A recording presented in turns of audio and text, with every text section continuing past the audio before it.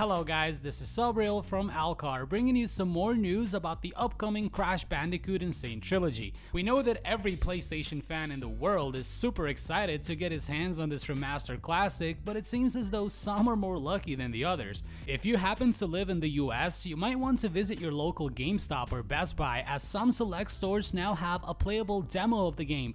This demo is exclusive to the United States at the moment.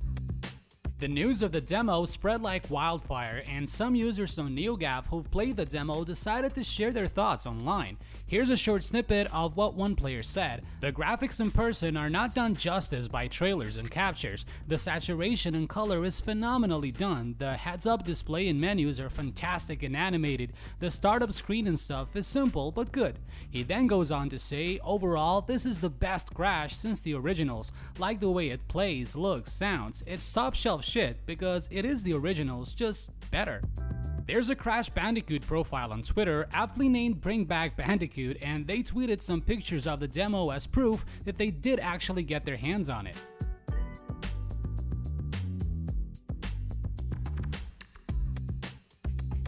So there you go. Once again, if you're in the United States and you have time, go to your local GameStop or Best Buy and give the demo a spin. If you do, please let us know your thoughts in the comment section below. We would love to hear whether the remastered version feels as good as the original because we know that it sure looks the part. Thank you very much for watching and as always, make sure to head over to altchar.com for a lot more gaming news. This is Sabriel and see you very soon.